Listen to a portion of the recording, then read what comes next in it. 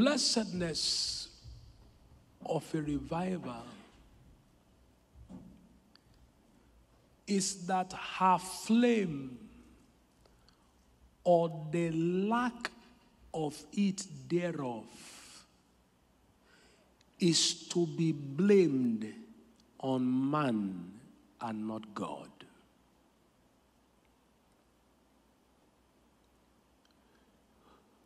I'll come again.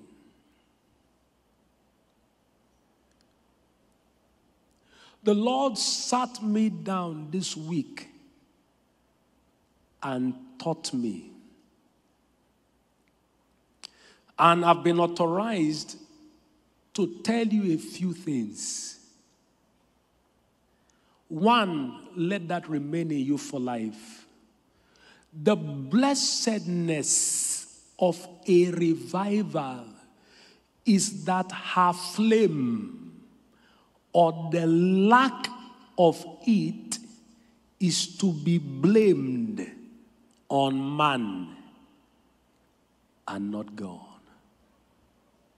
Oh, what a wonderful blessing.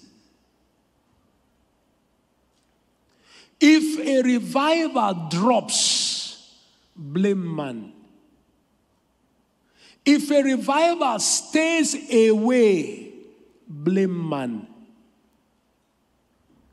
God is never to be blamed for the flame or the lack of it. Isaiah chapter 66, verse 7, verse 8, and verse 9. Give me first in the King James and then we go to Classic Amplified. The word says, before she travailed, she brought forth. Before her pain came, she was delivered of a man child. Who had heard such a thing? Or who had seen such things? Shall the earth be made to bring forth in one day?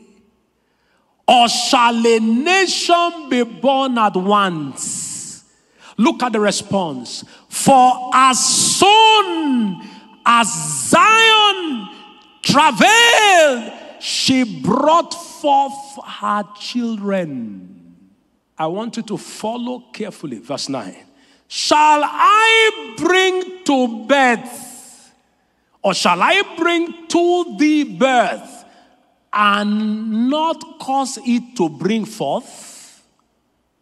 Saith the Lord, shall I cause to bring forth and shut it or shut the womb? Saith thy God. Now place this in the classic amplified and see light break forth. Before Zion travailed, she gave birth. Before her pain came, or before pain, before her pain came upon her, she was delivered of a man child. Eight. Who had heard such a thing? In other words, how will you say you gave birth without traveling? Who had seen such things? Shall a land be born in one day, or shall a nation bring forth in a moment? This is the key. For as soon as Zion was in labor, in labor, she forth her children. Now, verse 9 is very key. Shall I bring to the moment of birth and not cause to bring forth, says the Lord? Shall I, who causes to bring forth, shut the womb? In other words, I am not to blame for the lack of the flame. If you travail, you will bring forth, is guaranteed. Now, in Ephesians 3:20, as we lay this foundation, this is what the word says. Now unto him that is able to do exceeding abundantly above all that we may ask or think. And many times we shut our Bible there, leaving it to God. But look at the next verse, which is as important as the previous. The next sentence, sorry, in that verse. According to the power that worketh in us. Follow me. Now unto him that is able to do exceeding abundantly above all we may ask or think. So the church says, if God wants to give us a revival, He will. Why kill ourselves? But He says it's according to what is working or happening or burning in you. You, me, you, me, you, me hold the keys to this revival. According, according, according. Please hear this. You cannot blame a lamp for not burning, but blame the oil for not being present. So also you cannot blame God for the fire not burning, but man must be blamed for the oil not being present. Not God, not society, but man, but man, but man. Every oil that has lamp will produce, every lamp, sorry, that has oil will produce fire. But every lamp, no matter how beautiful it is that lacks the oil, it will lack the fire. Matthew chapter 25, verse 1, beginning all the way to verse 9. Then shall the kingdom of heaven be likened unto ten virgins, which took their lamps. All of them had the lamps and went forth to meet the bridegroom. And five of them were wise, and five were foolish. They that were foolish took their lamps and took no oil with them. But the wise took the oil in their vessels with their lamps. Remember, we are vessels. While the bridegroom tarried, because it is those who tarry that we carry. While the bridegroom tarried, they all slumbered and slept. And at midnight, there was a cry made. Just like I'm making a cry this morning, a cry made. Behold, the bridegroom cometh. Go out to meet him. Then all those virgins arose, trimmed their lamps, and the foolish said to the wise, Give us of your oil, not of your lamp, not of your fire but of your oil. Give us of your oil, for our lamps are gone out. But the wise answered, Not so. Lest there be not enough for us and you, but go ye rather to them that sell and buy for yourselves. The oil is at a cost. Hetus Hifru sakane nekotosifra naneka. Go and buy. It's at a cost. Go and buy. It's at a cost. Go and buy. It's at a cost. It was oil.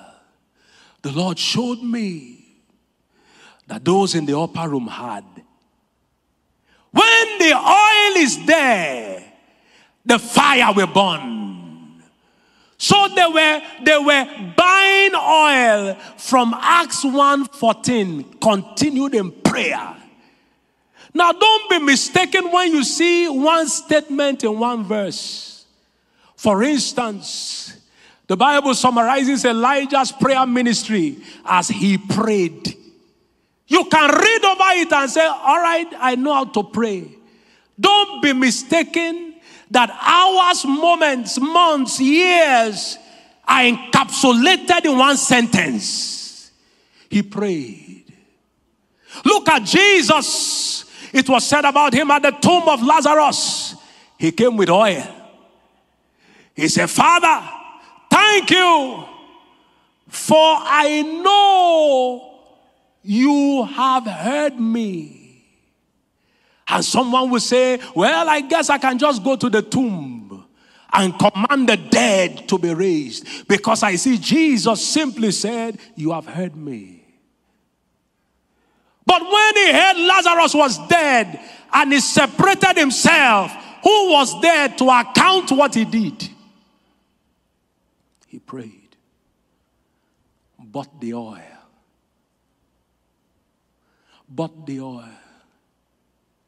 Those who moved revivals were used in revivals and were prominent figures in revivals paid the price. In fact, Leonard Ravenhill said, The secret of praying is praying in secret. That is, if you see anyone stand out in the public and pray for a few minutes and fire falls, it's not a few minutes. The prayer was done you only heard the declaration. The secret of prayer is praying in the secret. I introduce to you today the oil that must be in the lamp of everyone that will be lit up. It is prayer prayer. God's duty is to answer, man's duty is to call. If there is no answer, there was no call. Take this, and it will help us. The same Leonard Ravenhill, a man who was mightily used of God in World War II, if you have that, thank you. He said, Revival delays because prayer decays.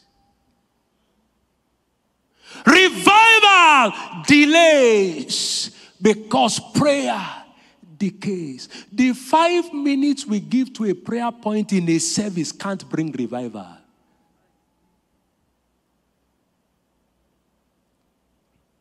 Revival delays because prayer decays.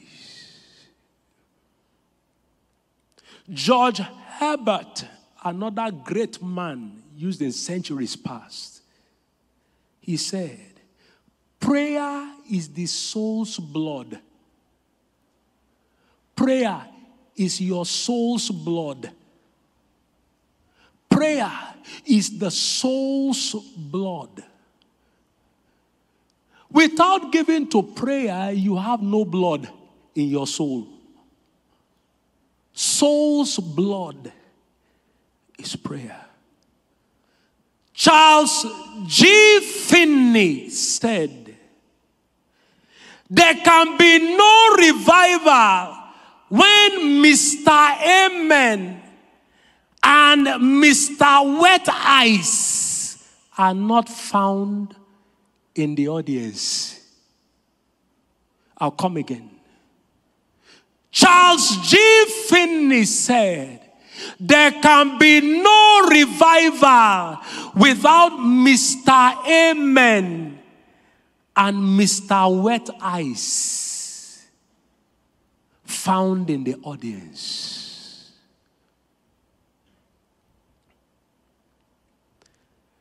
William Booth, the one who began Salvation Army. That was actually a revival movement, not what it has become today. They call his name William Booth. He sent out some salvation ministry or salvation army officers to a dry land to revive the land. And they wrote to him, no telephones those days, they wrote to him and posted to him Mr. Booth, we have done everything we know to do, but we haven't seen a move of God. Can you imagine William Booth's response? This will stick in you because it caught fire in me.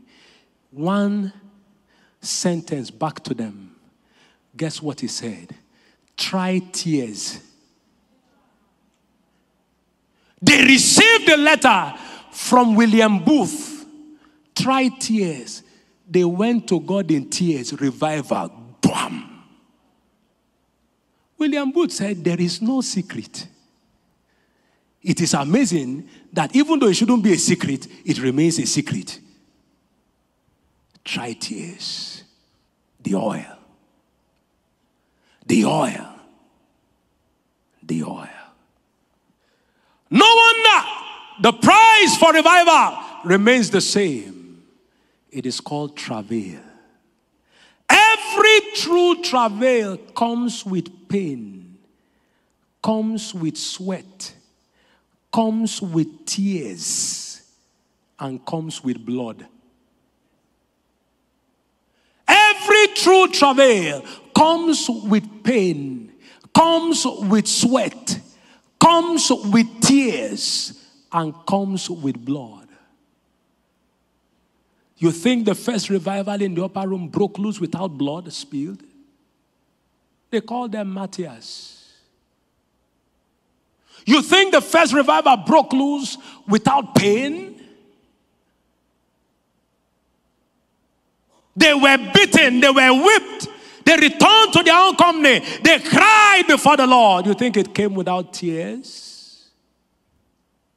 Oh, what a generation that thinks the stories will birth another one without going through the process.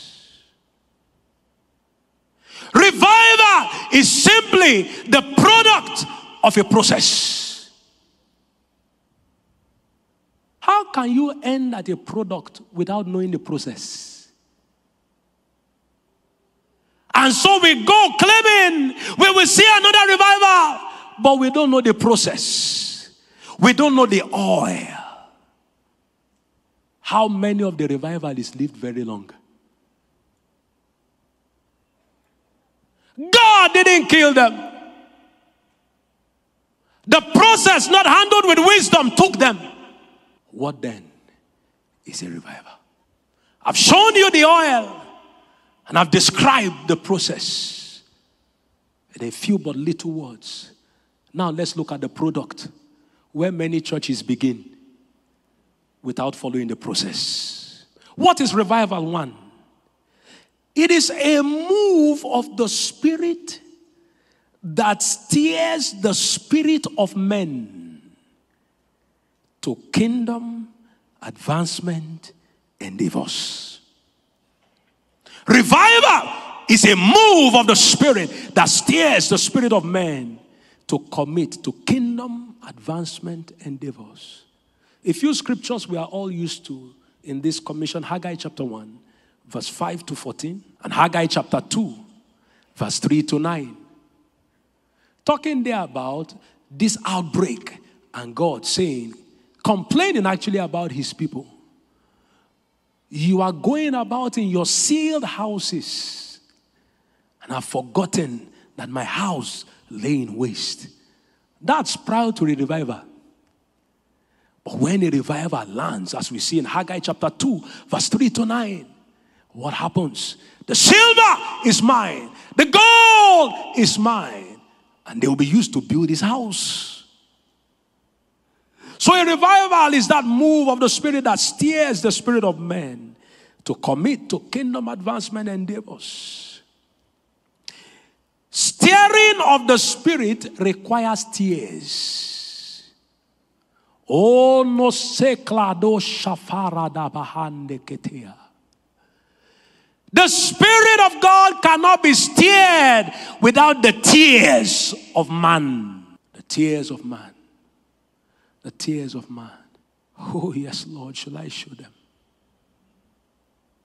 Look at a few scriptures we read but not understand. I read some of them to us at the end of the service. as the altar is opened. In Joel chapter 2, 15 to 30, we'll read that later on as we close. He calls the priest, the people, the elders, and the young after blowing the trumpet in Zion, as we are hearing, to weep, weep, weep, weep, weep before the altar. And then after they weep, what happens? There's an outbreak. I will pour out my spirit upon all flesh. We are quoting the pouring out of the spirit and forgetting to quote the weeping of the saints. Now look at this Psalm 126, verse 1 to 6. When the Lord turned again the captivity of Zion, we were like them that dreamed. Is it not in Zion we're expecting the revival? Then was our mouth filled with laughter, our tongue with singing. Then said they among the heathen, The Lord has done great things for them. The Lord has done great things for us. Revival has happened, whereof we are glad. Now turn again. Our captivity, O Lord, as the streams in the south. Ha. Those that sow in tears. He's not talking about your seed. Give him money. That's part of it. Sowing in tears. Sharadabahade shadara. Ha notosh karaya. Deroneno sakara. Vrananea nanaka. If it's travail, it will come with tears. He just showed us how he turned the captivity of Zion. That's a revival breaking loose. But it took place by men's knees being on the ground and tears flowing. Haven't you observed? In the protocol system of heaven, before there is laughter, there is sorrow. Ah, for weeping may endure for a night. He began to open my eyes Why do you think every weep is a weep of challenges? The church has preached it. That those that, you know, weeping may endure for a night, that means you've had problems. No, we have a problem in the world that we don't see the revival of God. It's a big enough problem. It may endure for a night, night, but joy cometh in the morning. Nehemiah chapter 8 and verse 10, I believe. Neither be ye sorrowful. For the joy of the Lord is your strength. Ah. And he began to say, Why do you think before joy there is sorrow? Why do you think before laughter there is weeping? It's the process that births the product. Revival is the product. Intercession, travail, with pain, with sweat, with tears, and with blood is the process. This ministry will have died in one corner except a man began to cough blood. The process before the product. Show me anywhere God has really moved, and I will show you men who truly traveled. It will never change for generations. Place your hand on your head. Empower me, Lord, for the process. Pray in the spirit right now. Neko Shada Radish Nano Krodos Lafrada ya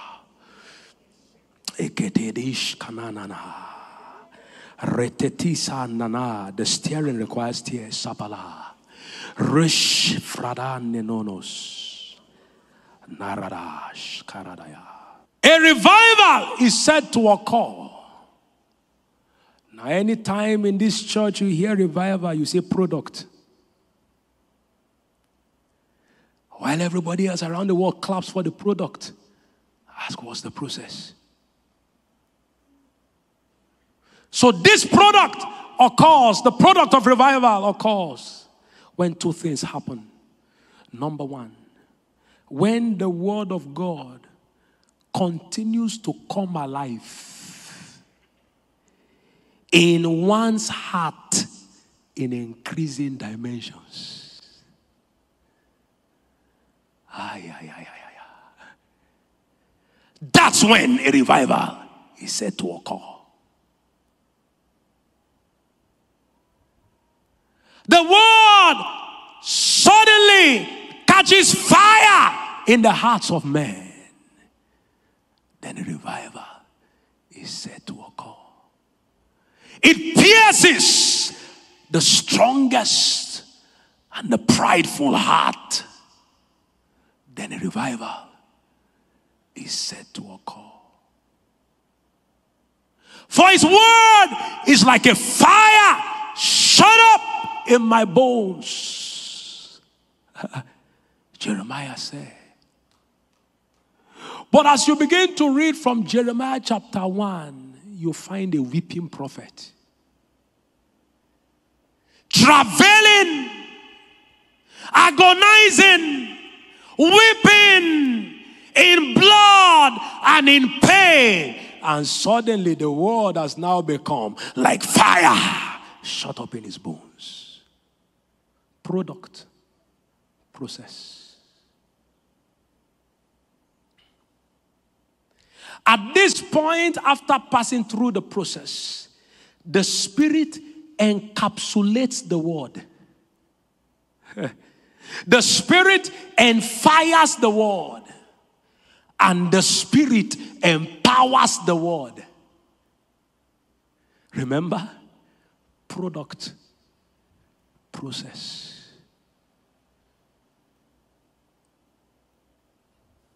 A great revivalist, I can't remember his name, said, He said, Every minister of the gospel needs at least a day to prepare the word, the soul food, and needs another day to prepare himself for the word. I'm not quoting him verbatim, but that's what the Lord opened my eyes to see. The 21st century minister prepares for the word, but doesn't prepare his vessel for the word to flow through. We can preach the same thing, but when the Spirit encapsulates one, the Spirit enfires one, the Spirit empowers one, the impact is different. A bullet cannot kill it is a bullet in a gun that kills. I can use a bullet now, hit it, you will keep smiling. But put it in a gun that has the ability to fire. And then what you played with, what any child can play with, becomes a missile. Are you and I missiles in the hand of God?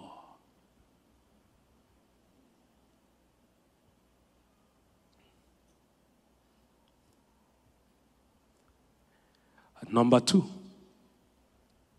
a revival is said to occur when going going to church becomes a way of life. Product, process. It will never become a way of life in our generation until the process is followed.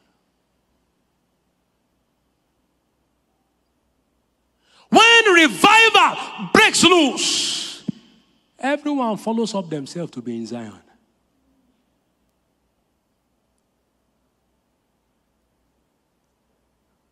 Psalm 84, verse 1 to 7.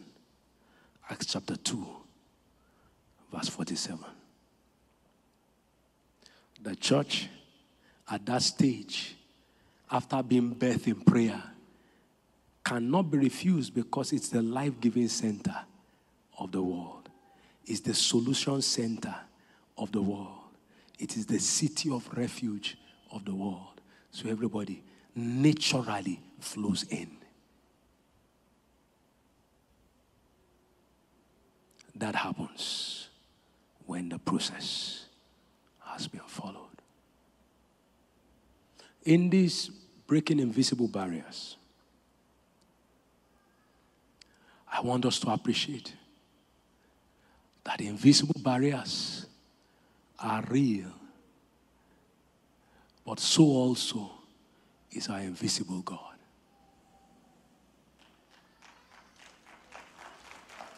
Instead of celebrating the barriers that are invisible, let's activate the God that is invisible. I submit to you the solution.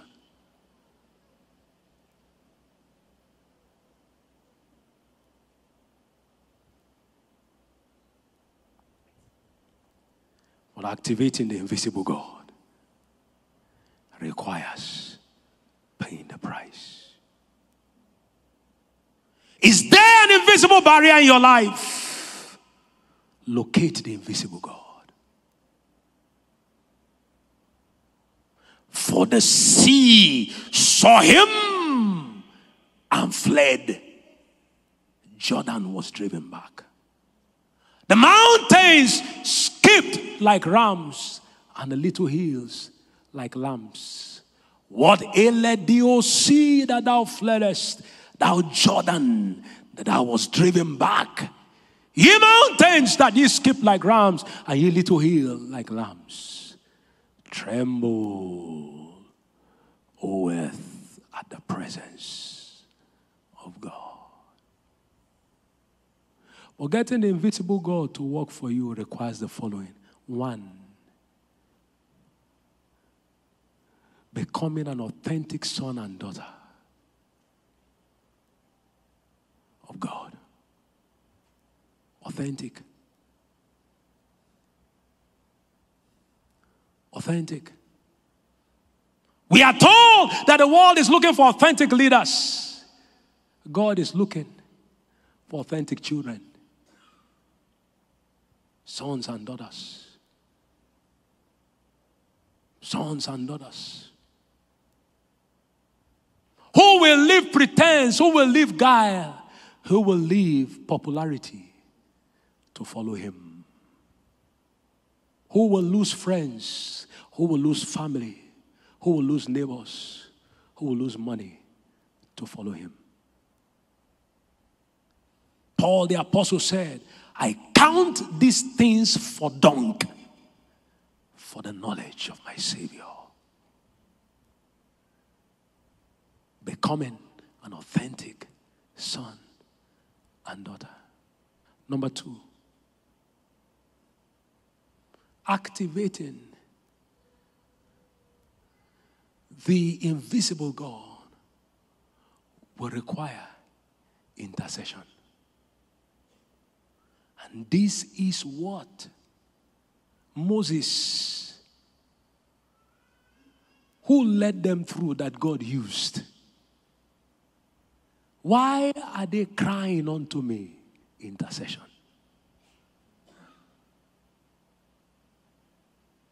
Number three, activating the invisible God will require direction. Tell them that they go forward. He knows where the invisible barriers are. By choice, He can lead you through the invisible barrier or lead you around it. But as long as He's your shepherd, you cannot be stranded. Rise on your feet. That's what it takes. Lift your hands. And let's pray in the Spirit. Nos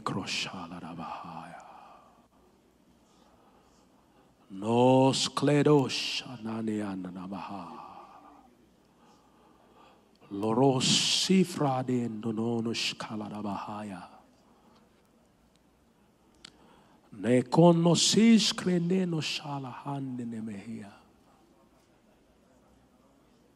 Radabahash Kledie. Na no no no no sklendo shikra ne no shavaraha. Nelorolos. Rada balabaya ikotosia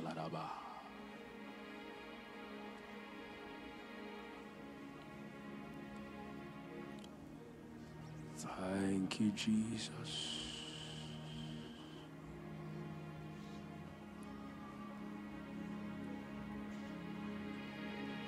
Mm.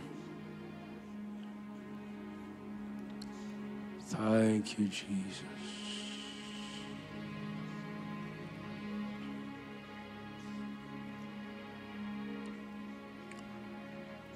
Joel chapter 2.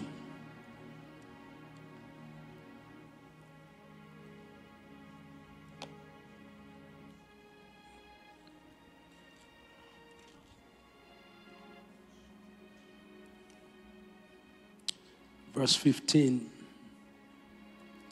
We'll try to read this as quickly as we can. Blow the trumpet in Zion. Sanctify a fast. Call a solemn assembly.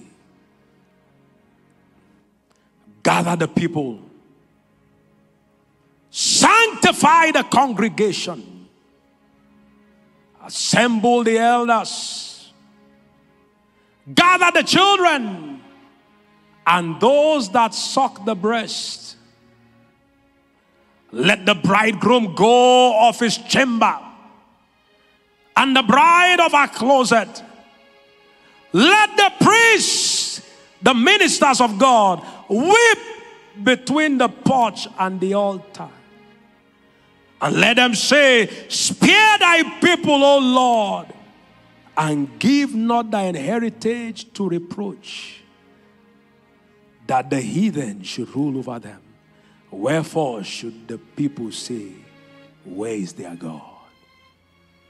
Then will the Lord be jealous for his land and have pity upon his people because they have wept. Yea, the Lord will say, He will answer and say to His people, I will send you corn and wine and oil. That sounds familiar. And you shall be satisfied therewith, and I will no more make you a reproach among the brethren. Verse 21 Fear not, O land, be glad and rejoice. For now, he will do great things.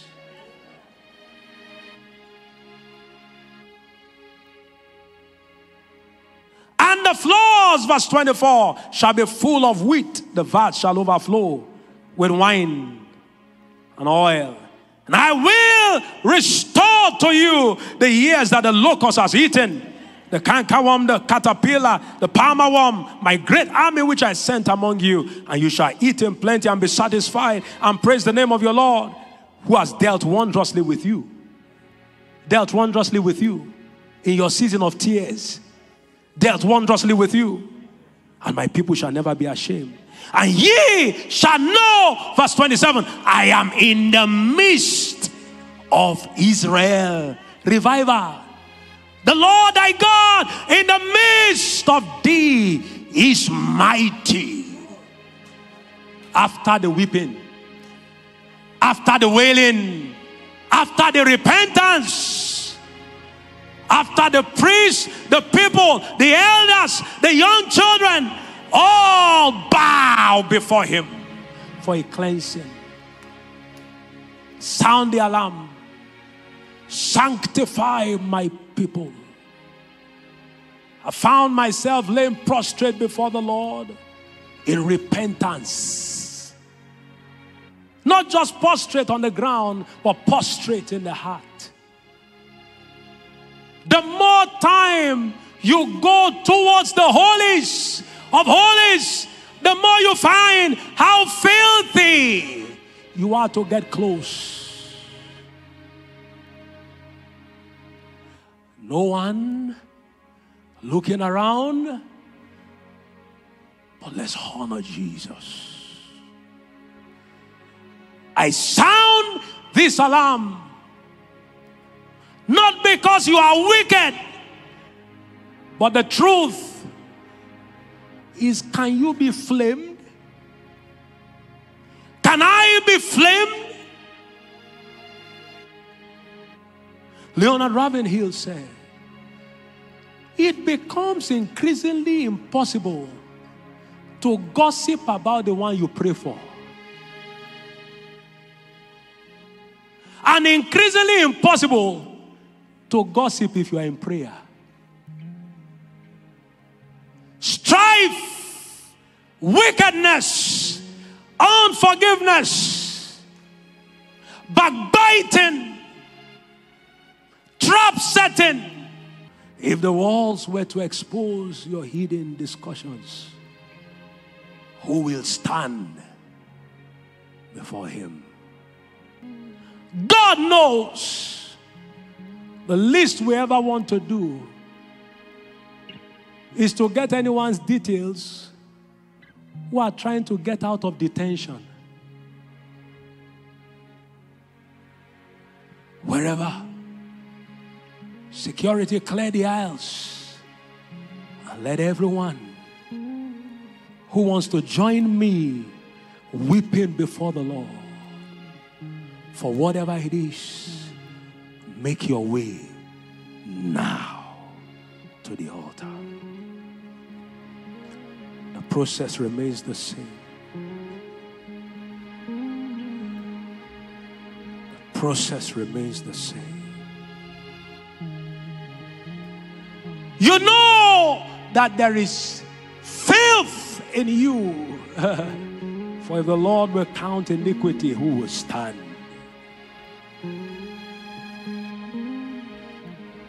You know that there are things in you, around you, held on within you, trapped within you, that will hinder you from being that vessel with cloven tongues of fire upon their head.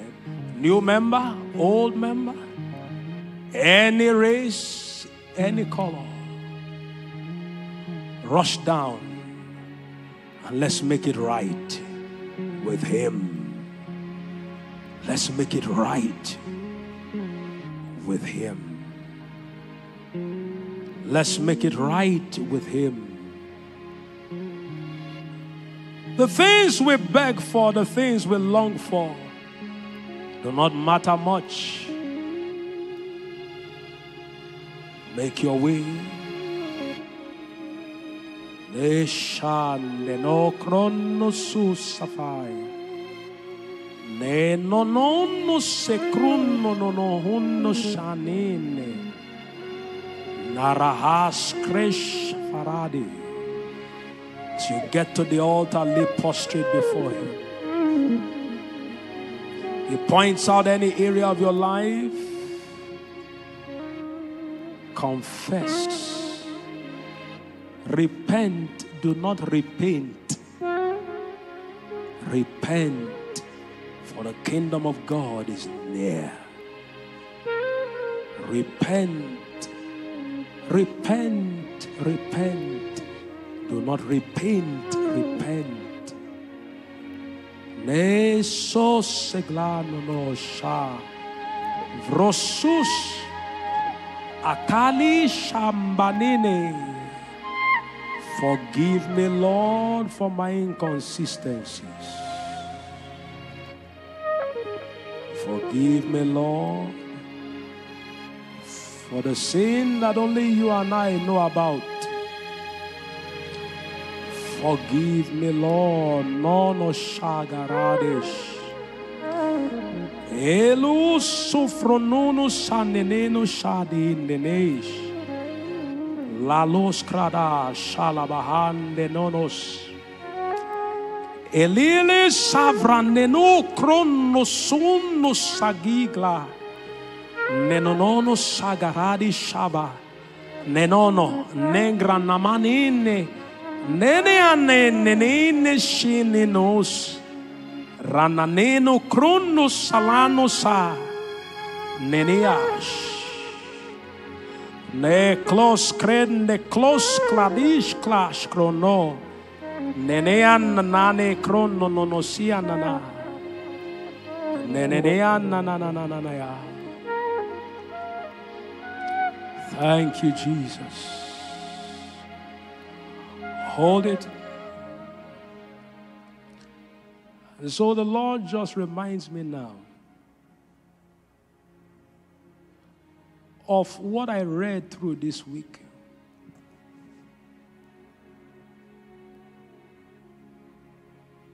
And this apostolic writer, Leonard Ravenhill, said, The church is at an all time high in attendance, but an all time low in those that come to the kingdom. I'll say it again. There is an all time high of those who walk through the doors. And this was in the early 1940s. It's almost the same today. We said there's an all time low in those who enter into the kingdom.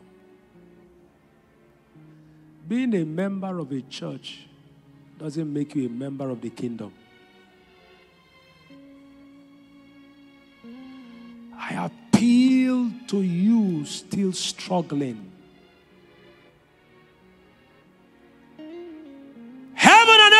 Will pass away, but not one jot of this word will go unfulfilled. One of the things God wants to do in this season is to break our pride, break our thirst for relevance. And so I found myself praying, Break me, O Lord, break me. Break me, O Lord, break me. Break me, oh Lord, break me. And as I said those words repeatedly, repeatedly, repeatedly, he spoke through my lips and said, For it is only those that are broken that can be molded. I said, Break me, oh Lord, break me. Break me, oh Lord, break me. Break me, oh Lord, break me. For it is only those that are broken that can be molded. And moments passed, and moments passed, and moments passed, and the same word couldn't leave my lips.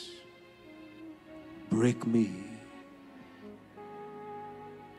For it is time to break your fallow grounds. Break me, Lord. Every step towards the altar is a breaking. Break me, Lord. Break me, Lord. Break me, Lord. Break me. Break me. Break me. Break me. Break me, for it's only those that are broken that can be molded.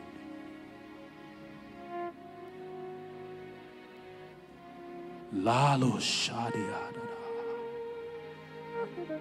Hey, eh, Shandania.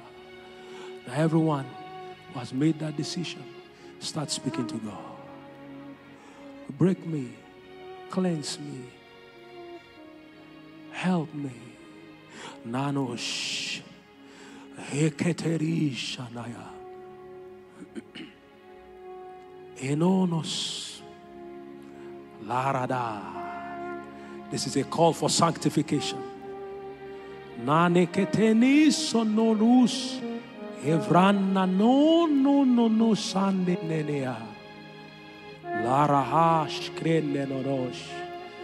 Lelo sefrus sanane no no no. Begin to repent. Don't repent. Repent. Repent, repent, repent, repent.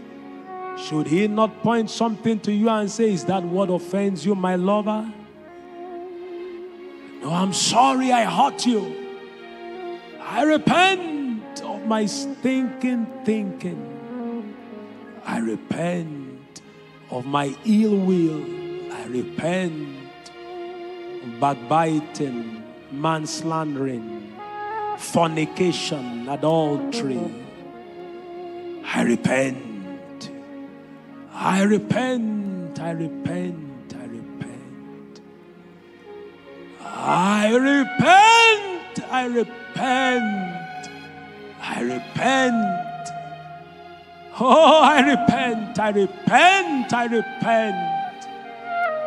I repent, my God. I repent. And I repent. Thank you, Lord Jesus. Giving an opportunity to everyone. No one is to be blamed if we are not flamed. No one is to be blamed if we are not flamed. No one is to be blamed if we are not flamed. Lord, behold your children. And children, behold thy father. Thank you, Lord, for cleansing us from priest to the people, to the elders, to the children. That we may be vessels that can be trimmed with the oil leading to the fire.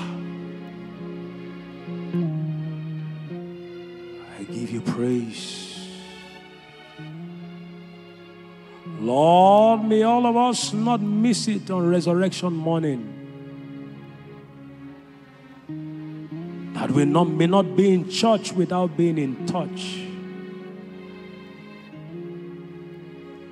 That at the marriage supper of the Lamb, we may all be present in our robes. Thank you, Jesus.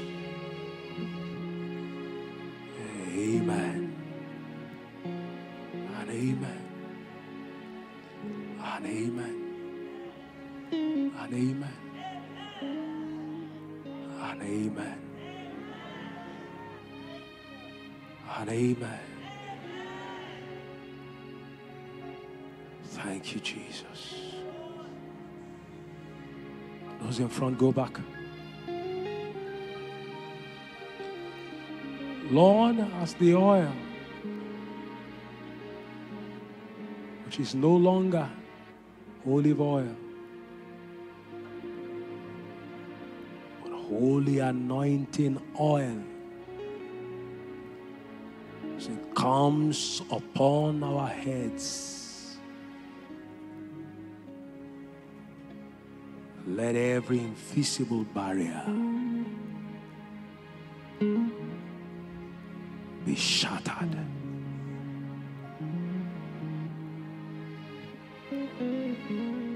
For the invisible God cannot open the door.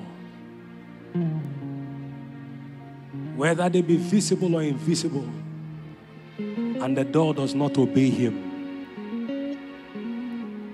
For by this oil upon our heads, limitations shattered oppositions shattered,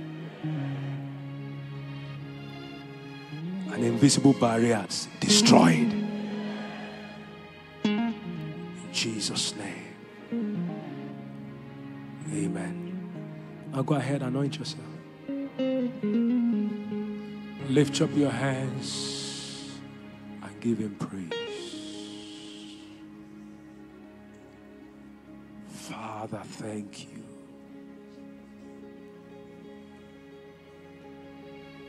For you are glorious and worthy to be praised. You're the Lamb upon the throne.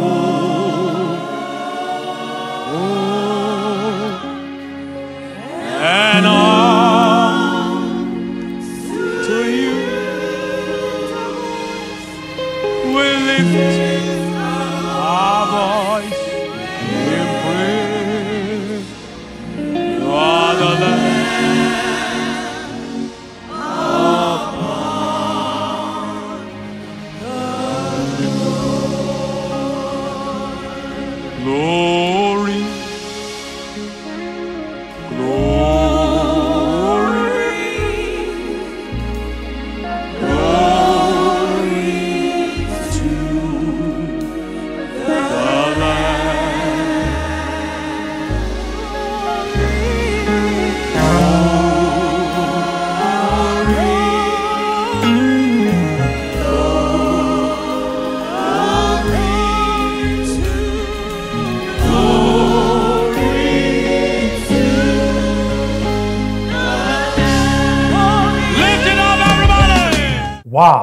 sure you were blessed by this video that you just watched. The truth is this without action, revelation is impotent. And so, what will you do? Haven't heard the things you have heard. I'm sure something has been fired into your spirit. It's now time to take action. Make sure you like, you subscribe, you comment, and you share this video with everyone. Let's spread the fire across the nations of the earth because we will see a revival in our generation. God bless you.